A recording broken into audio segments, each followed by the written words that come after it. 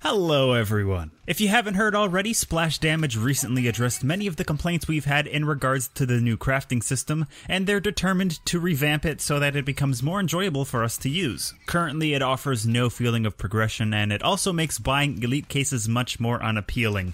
And they're asking the community for their feedback on what sort of thing that they would like to see with an updated version of the system. So, if you haven't yet, go check out their video, which I'll link to on screen and in the description, or tweet at them with some of your ideas. As for myself personally, I'm actually not opposed to the system itself, it's just the execution that got to me. The values and costs of each craft are very near to the same values as previous if you want to compare the costs from scratch, but the huge oversight on how the majority of players actually or want to craft their cards is what caused the outrage, I think, anyways. So, what would my compromise be? Well, I'm probably not the guy you want to talk to about numbers, but my ideal system would consist of the best of both worlds. I can still trade up my old unwanted cards to the next highest rarity, or I could scrap a ton of cards for fragments in order to jump straight to the rarity that I want, and this new system would have to keep in mind the fragments you receive for recycling cards should be near or equal to the card's value when trading up to its next highest rarity. Like I said, I'm not the guy you you want to talk to for numbers, but just for the sake of argument, let's say a Cobalt loadout costs 6,000 fragments to craft, or 6 gold cards to trade up. Each gold card should then recycle for 1000 fragments, since if you scrap those 6 gold cards, you would have enough to craft a Cobalt.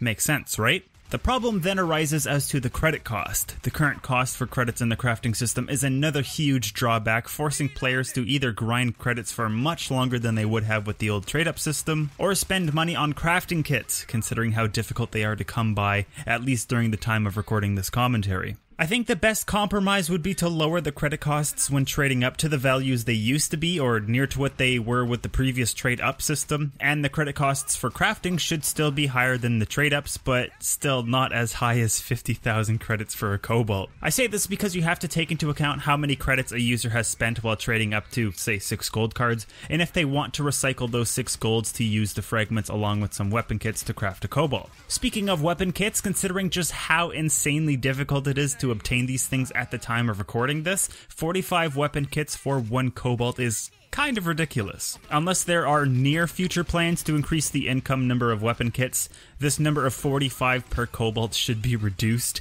at least until there is a better and more reliable way to obtain them. But back to the argument of reducing credit costs, let's use another hypothetical scenario the RNG aspect of elite cases are far too great to consider buying them for any specific cards, so my understanding is that the greatest value associated with them is to recycle or trade up the cards you received for a better chance at something you want. And let's face it, anyone willing to buy enough elite cases to do that are looking to make a Cobalt card, and currently 50,000 credits is just too much. Let's observe the old trade in system versus the new crafting system and compare those individual values. Previously, you could trade in two Cobalts along with 24,000 credits for a brand new Cobalt. It was simple and straightforward. But now with the crafting system, you need the fragments from two Cobalts and then some, plus 50,000 credits. That's just way too much to ask for, and part of the reason why I asserted in my previous rant videos that the value of cobalts has been dramatically overinflated or at least over exaggerated. Anyways, I don't want to begin repeating myself from before, but I did want to provide a suggestion on how I think the current crafting system could be improved, as well as my argument on why credit costs are much too high with the current system, and why they should be toned down with any changes that may occur in the future. Currently, the crafting system relies too heavily on expecting players to start from complete scratch, recycling primarily only lead cards, and doesn't take into account the paying customers without expecting them to either pay more for crafting kits or to play for more than double the time they would have had to previously.